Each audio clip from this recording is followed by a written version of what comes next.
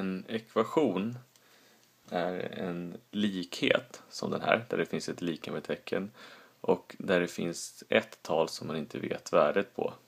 Man brukar ofta beteckna det med x, man kan kalla det för en obekant.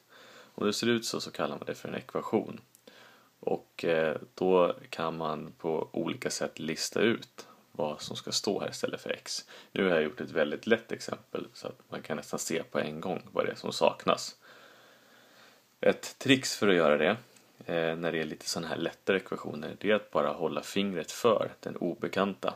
Den som jag i det här fallet använder bokstaven x för att beteckna. Då håller jag fingret för och då kan jag bara lista ut vad är det jag håller för.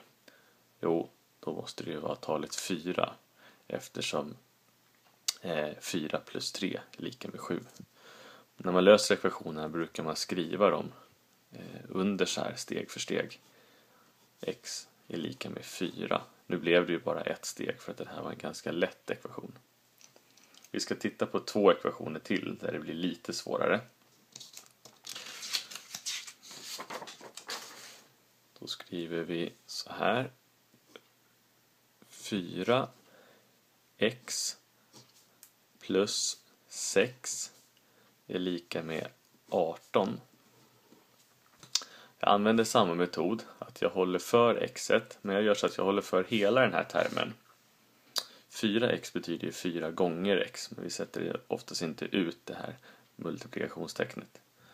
Jag håller för hela den här termen och tänker då att någonting plus 6 ska bli 18. Och det där någonting som jag håller för, det måste ju i så fall vara 12 eftersom 12 plus 6 är 18.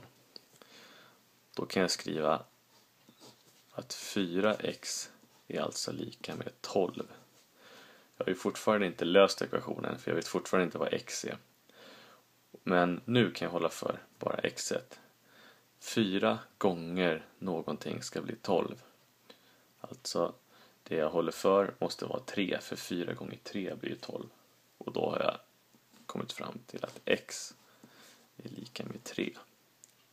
Jag kan alltid kontrollera efterhand om det stämmer genom att byta ut x mot en 3 och tänka då 4 gånger 3 det blir 12 och 12 plus 6 blir 18. Ja, då stämde det. Så att man kan alltid göra så ekvationer i efterhand, sätta in det man får fram i det man hade från början för att titta om det stämmer. Vi tar en variant till och eh, då skriver vi så här x delat med 2 plus 6 är lika med 11.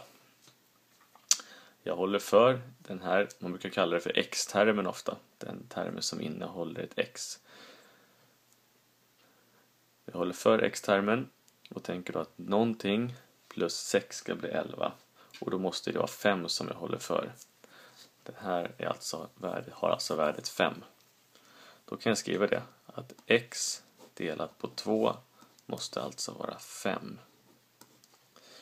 Och då gäller det att lista ut i nästa steg vad x är, då håller jag för x.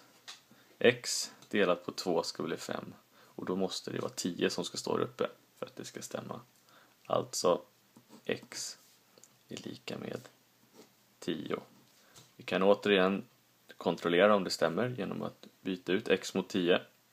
10 delat på 2 är 5 och 5 plus 6 är 11. Ja, det stämde.